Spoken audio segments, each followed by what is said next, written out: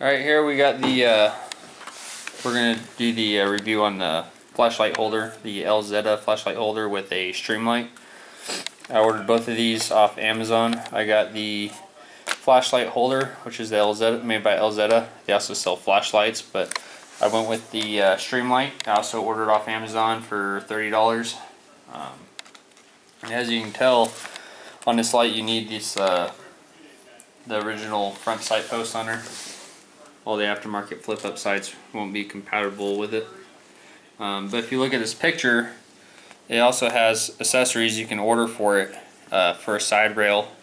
So if you wanted to mount some up there like a, uh, if you want to put like a sling holder or whatnot up there, or a laser, or I don't, I don't know why you would want to, but it's just options. Um, here's a better picture of it. It's a ZFH 1500 tactical flashlight holder. Um, with the Streamlight that I did, it fits snug the way it is. It comes with these mounts and the hardware and Allen wrench. So if it was a smaller diameter flashlight, these would actually fit inside of there for a smaller for a smaller flashlight.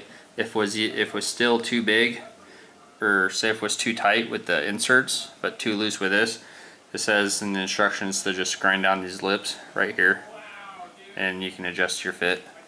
Um, I was able to slap it in without the without these retainers and it was a perfect fit.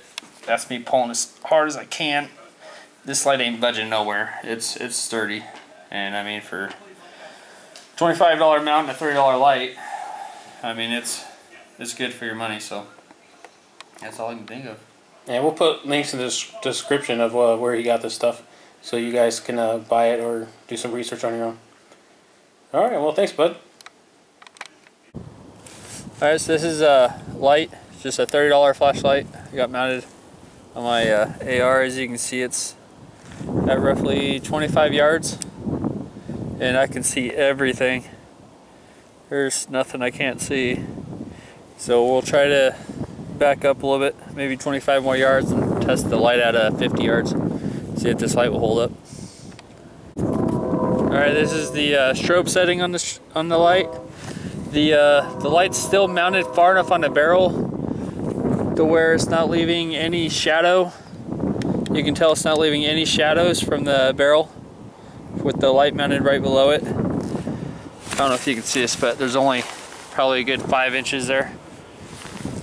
And this also mounts, I mean, because that much in front of the handguard, which isn't even made so it's a pretty good mount. Alright, so as you can see, it's probably about a good 50 yards right there. I can see just as good as I was at 25 yards. So this light's actually a really good light for what you're paying for, especially with the $25 mount. So that's a lot cheaper than a $130 mount on light. And paying for a for a handguard that extends all the way up towards your barrel, so it's money well spent.